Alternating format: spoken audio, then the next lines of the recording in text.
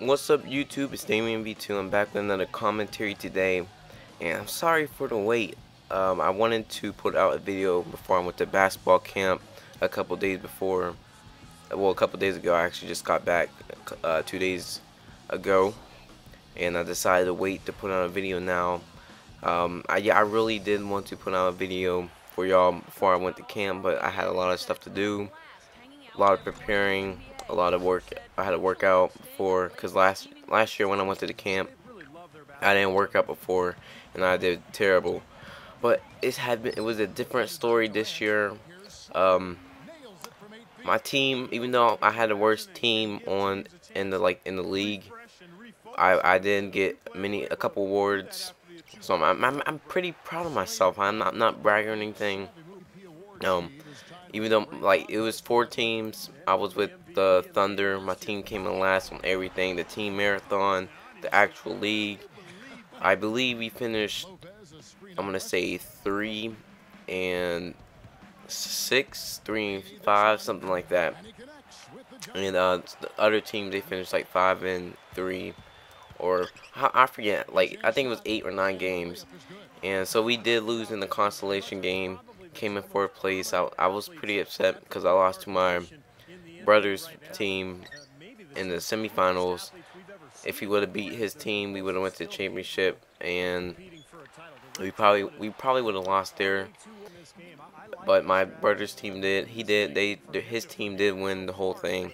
So I was kind of upset. I was sitting there for a while, and the coaches came up to me. It was like, "Yeah, it's hard when your brother uh, beats you, isn't it?" And I was like, "Yeah." Yeah, it was it was tough though. I met new people. Have I really had a lot of fun. Free food for about four days, and um, um, here's the, the surprising part of the camp.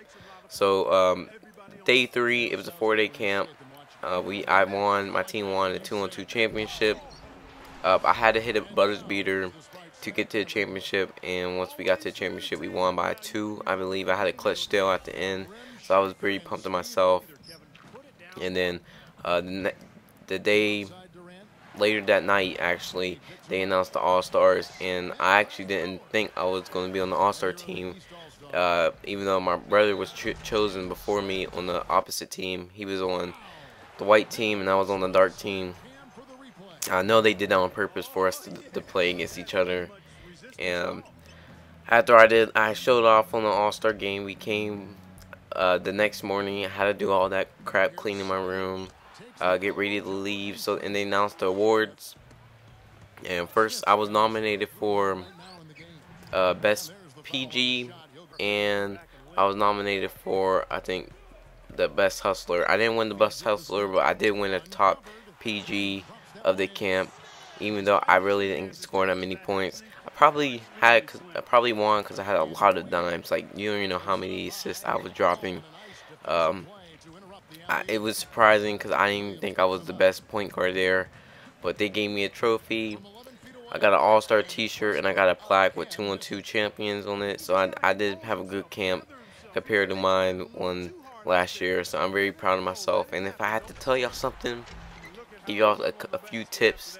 Work out before you go to the camp. I know it's kind of obvious, but don't be lazy. Uh, you can never over prepare for something unless you get hurt, but that's that's besides the point. Uh, I prepared for it. I did a good job. I surprised myself. I'm proud of myself. And um, I haven't even talked about the gameplay. Um, this is the NBA All-Star Game featuring my SF Michael Slater that plays for the Charlotte Bobcats and um, I did have a great game. I didn't play a lot. That's why this video is short. It's only about five minutes and I want to say 20 seconds or 30 seconds, somewhere like that. I did get to play the game. I wish I played more and had more scoring points and score more points. I don't know why, but I did have most vo votes, so I should have been a starter. Even though they they didn't put me as a starter, I think um, I already, I think I already know who started over me. It, it was stupid. The lineup was stupid. But um, here's a press conference. They Damean me too. I hope you liked the video. Thanks for watching. I'm out.